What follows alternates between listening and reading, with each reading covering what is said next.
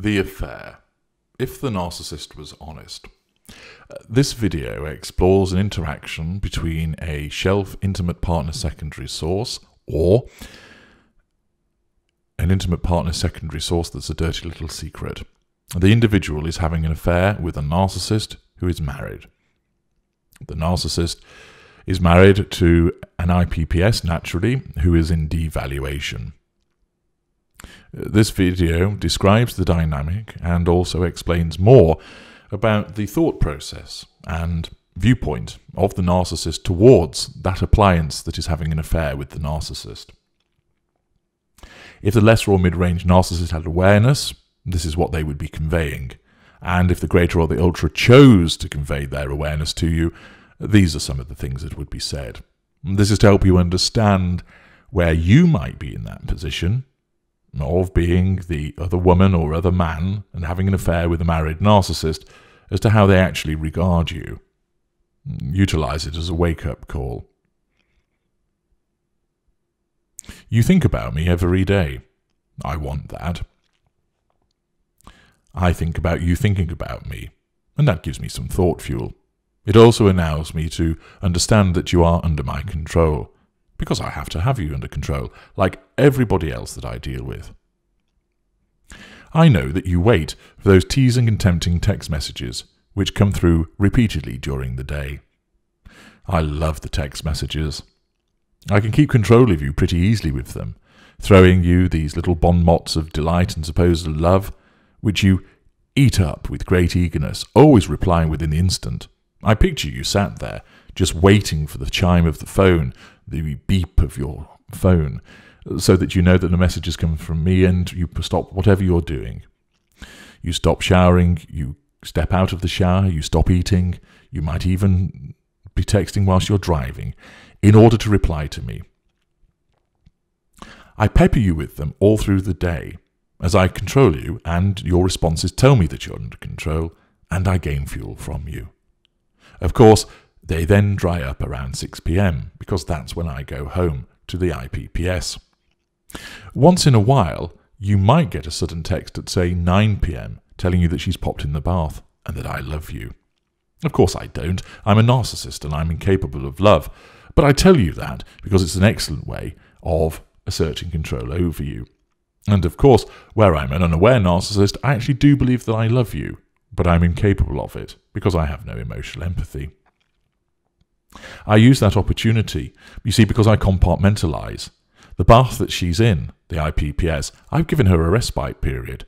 So I drew the bath for her. I lit some candles. Of course, I won't tell you that, unless, of course, I want to make you jealous and triangulate with her.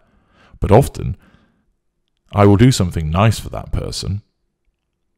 And because I compartmentalize, I close the door on that interaction and open the door on one with you. And I don't see anything wrong with that. My narcissism stops me from seeing anything wrong. The hypocrisy of being nice to her and then speaking to you and then smearing my IPPS to you. I send you these messages telling you that I love you, that I miss you, and I hate being apart from you. All good to keep you under control. Also, because I've got one mind on ensuring that the IPPS is controlled, that I warn you against replying, and therefore all you can do is touch the glowing screen and try to feel the sentiment behind those electronic messages of desire. Look at how I control you. I send you a message giving you that thrill at 9 pm, another little burst of the interaction between you and I, and I immediately then tell you that you can't reply because I have to keep you under control and ensure that you don't threaten my control over the IPPS, even though they're in devaluation. I know how you cherish that period around 5:30 p.m. every day when we speak on the telephone, just you and I. More control and more fuel. I'm driving home from the office, and I use that half hour or so to regale you with my compliments and to issue those promises, oh, all the future faking, that perhaps one day I'll be driving home to you. I've created this period as a little oasis between us, and I know it because you told me that you come out of meetings, that you alter your day to always ensure that you're available at that time. And you sit there waiting, perhaps pulled over in your car, sometimes at home, phone in hand, waiting for that call, as when I've got into my car and when I'm driving home. Whatever you are doing, you always ensure that you are available and your phone line is free in order to engage in this call. You now arrange social engagements to take place later, or you remain at your office, ensconced there, appearing to be engaged in a business call, save, of course, that you smile far too much for something that is work related. That half an hour of heaven, when we talk as if we were properly together, making plans, discussing the things we like and dislike as I mirror you, planning the next time we can snatch some time to make love without being detected, or laughing about what was discussed when we met for lunch earlier. I draw the fuel from you, and I control you. You manage to arrange to have lunch with me at least once a week. We deliberately choose a place that is neither likely that neither is likely to be recognized in, and we place ourselves around the corner and out of sight, hands held beneath the table and then removed when the waiter nears us, just in case. Stolen kisses, lingering looks and promises. Oh, so many promises of the wonderful world that awaits us once I manage to free myself of the chains of my marriage, if, of course, I ever decide to do so. You listen carefully and attentively, showing the empathy for which you were chosen, as I make oblique references to my miserable home life. Each time you gently press for more information to enable you to understand what it is that I have to endure. What it is that I have had to put up with, and what it is that has driven me into your arms. I try not to say too much at first. I don't want our oh two brief times together to be spoiled by my tale of woe, although there are some of my kind that will give you the full pity play, indeed, the sympathy symphony about how terrible the home life is. But invariably, I tell you plenty because your sympathetic ear proves irresistible, and it is important for me to assert control over my IPPS by smearing her to you and you being sympathetic, and by controlling you by making you think that there is a, a chance that you might become the IPPS.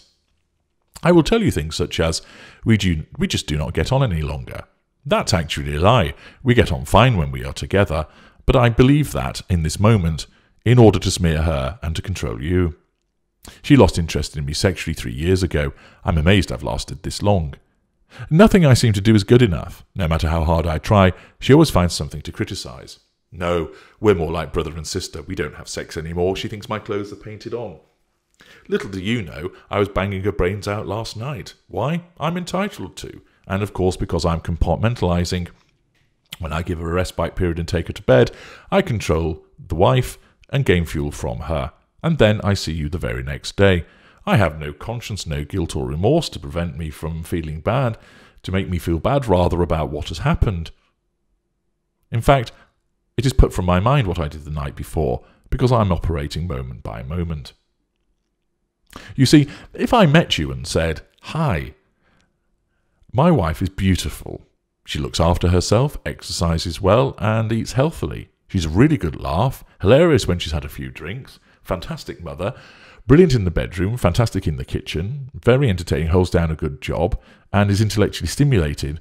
Do you fancy fucking me? You'd look at me like I was a nutcase and refuse. So, in order to draw you in, I have to tell you lots of lies, although, of course, my narcissism makes me believe them. Where I'm lesser or mid range, or if I'm greater or ultra, I know that I'm lying, but I just don't care. I will have the best of both worlds either way. When I tell you sometimes to triangulate you that I have sex with my wife, but it's only you that I think of, that's a load of bollocks. You're not even in my head. She is, because I'm controlling her. At that point, you've been shelved, and I'm not thinking about you. But of course, I need to control you when I'm with you, so I so if you ask, do you still have sex with your wife? I give you the appearance of honesty by telling you, yes, I do. But then, because I can see from your reaction that, that you're threatening control because you don't like what I've said, I have to soothe and placate you by telling you, oh, but it's you that I think of. It's a lie. But if I'm lesser or mid range in that moment, I believe it. And if I'm a greater or ultra, I know that it's hogwash, but I simply do not care. So I tell you all about my particularly troubled home life, and a lot of the time it's a fabrication. And in some instances, where there are things to complain of, It's only actually because of the way that I've treated my intimate partner primary source and she's had enough. But I would never admit to that because my narcissism won't let me, either by meaning that I'm not aware of it, or if I am, I can't admit that because that would be a transference of power, and that's not allowed. As I explain all of this to you, you listen and nod. I know you're desperate to weigh in and slide a knife between me and her and cut our bonds, but the decency that you're imbued with prevents you from doing so. You even suggest reasons why this state of affairs is as it is. You are kind, generous, and understanding. You're an empath. and That's why I chose you. You thrill to my sudden calls out of the blue. You always answer after one ring, sometimes even less, thus denoting that your phone is kept next to you at all times. That tells me you are under my control. Your voice also signals to me how delighted you are to hear from me. I gain fuel from that. When we meet, your eyes, your kiss, your hugs, and your spoken enthusiasm cause me to soar as I witness your devotion and desire, and you fuel me. You experience a surge of excitement when you are disturbed by a chime in the middle of the night and see that I have somehow managed to issue another text to you. I might write, I cannot get you out of my head and had to let you know. Don't reply. I am in bed with her. I gain thought fuel from imagining you're delighted receiving this text at 2 a.m., and I know that you'll have been woken up by it, and I know that you'll be lying there in the dark, cradling the phone, thinking of me. And that, just for an instant, gives me that surge of power. The delight that you experience at hearing from me when you expected not to is tempered by the knowledge that I am with her and not you. The weekends are harshest, as you often tell me, I can tell you you want to say more, but I know that you are fearful of pushing me away by being too demanding. And you're right to, because if you do start to place too many demands upon me, you will threaten my control, and therefore I will shelf you, and possibly with a corrective devaluation. I text you when I can, and sometimes I even manage to call you speaking in hushed tones from a toilet cubicle or a changing room in a department store stifling my laugh that I pretend to try on some clothes just so I can tell you, because I'm also pleased at how clever I am. I keep you hooked, though. I know how much you want me. I know you love me, and I know you want me to be loved, to take me away from the misery of my marriage because you want to save me. I promise you that one day we will be together, more future faking. But now is not the time. It's not quite right at the moment. There's a family event coming up, and it wouldn't be sensible to drop such a bombshell with that on the horizon. Excuses, excuses, excuses. There's a family holiday that she has booked. I didn't even know about it until now. Another lie, we booked it together. But what can I do? I will have to go.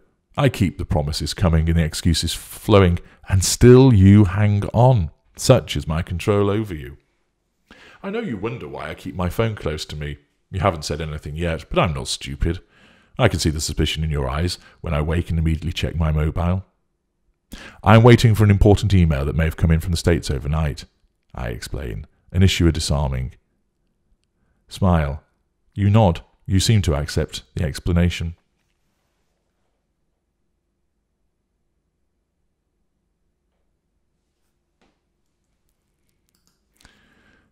This is what I explain to my intimate partner primary source. She is suspicious of me. She thinks that there's something going on, but I maintain a plausible deniability. She complains how she's never able to get me on my phone when she rings when, because I'm talking to you when I'm on my way home. She's left me repeated messages asking me to pick up some milk or to collect one of our children from the swimming or the football pool or the football, only for me to pick up the message too late. Of course, I'm so self absorbed, exercising my sense of entitlement by drinking of the fuel of you and devaluing my family that it doesn't concern me that I fail to do these things. I fob it off by explaining that I need to be available for my clients. I explain that my clients don't know that I'm driving home and that they don't care. They need to speak to me. After all, I explain to my IPPS, if it wasn't for them, we wouldn't have all of this, I say, pleasantly sweeping an expansive arm at the large house and expensive furnishings all around. I assert control over her, as a consequence of her wondering why she can never speak to me at that particular time. The IPPS will nod in acceptance. She understands that my work is important. That's because I tell her often enough that it is. She does complain.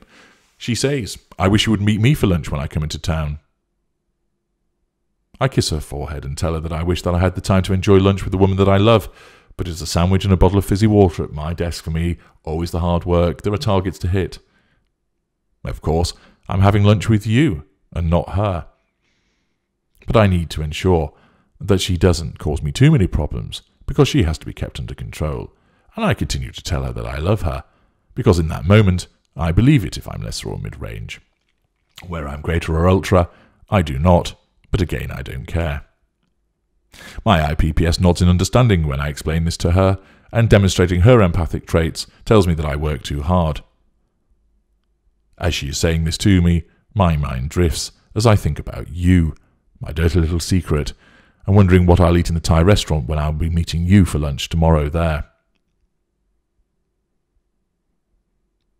After I've made love, as it's apparently called to my wife, she will comment, I wish they would leave you alone. As I turn away in bed from her, after having made love to her, I can feel her hand lingering on my back, wanting to maintain the closeness and the connection as I attend to my phone on the nightstand and issue a late night text to you before placing it face down. See how I compartmentalize? In the matter of seconds, I move from being inside her to then texting you. And then I'm back to her. I know, I say, apparently seeming empathetic, but it saves waking up to a problem. And then, having sent you a text saying that I miss you and I'm thinking of you, I return to my wife and kiss her as we nestle in our marital bed. Compartmentalize, compartmentalize, compartmentalize. I know that she cherishes our weekends together when the demands of the working week intrude less onto the domestic life. I sense at times her looking at me as I'm texting you, my phone in hand, that smile of contentment from the fuel playing across my lips, but nowhere near as wide as the smile inside of me as I fire off a tempting and teasing message to you to make arrangements, to meet you, to control you, to gain fuel from you. And as I send that text to you, continuing the affair, I turn to my wife and say, just seeing if Dan is available for squash next week, Tuesday night, so I'll be back late. I provide this explanation, creating a gap in the week for someone other than Dan, for someone other than my wife. She smiles and nods and returns to her buck.